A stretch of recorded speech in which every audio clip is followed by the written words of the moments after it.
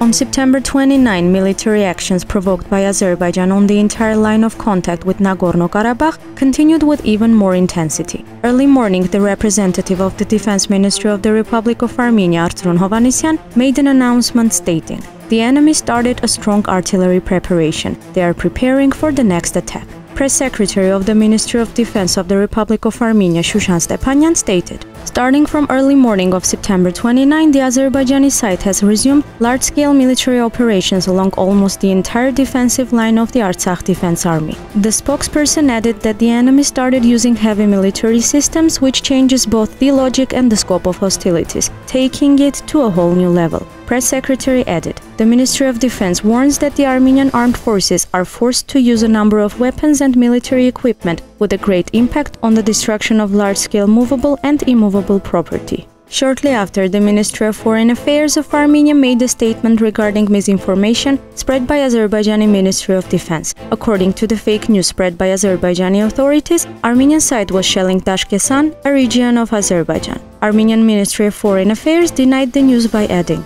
The enemy is preparing proper ground in order to justify its future actions. Immediately after the Armenian response, the Azerbaijani armed forces opened fire on Vardenis military unit of the Armenian armed forces, as well as used air force in the direction of the positions. The attack resulted in death of one civilian. As a result of Azerbaijani airstrikes, a civilian bus also got on fire. Fortunately, the targeted vehicle was passenger-free. Later, Lilit Makunts head of the ruling faction in the National Assembly of Armenia, shared an announcement informing that in the current situation, a possibility of signing a military political alliance with Artsakh is being actively discussed.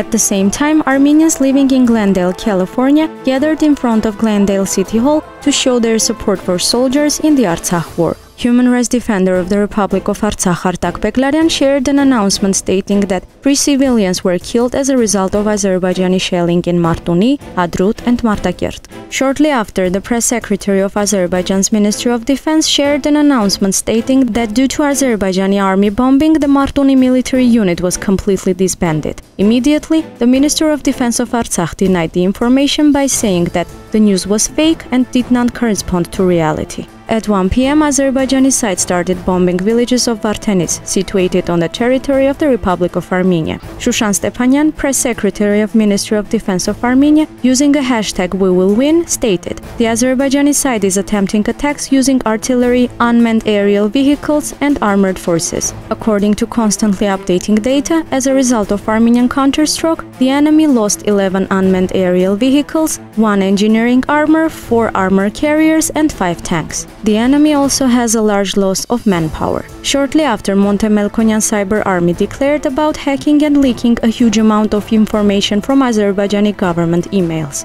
According to the announcement, the obtained documents directly prove that a number of Azerbaijani websites and social media sites are funded and managed by the government of Azerbaijan. According to the recent data, Armenian side lost 84 servicemen as a result of Azerbaijani aggression.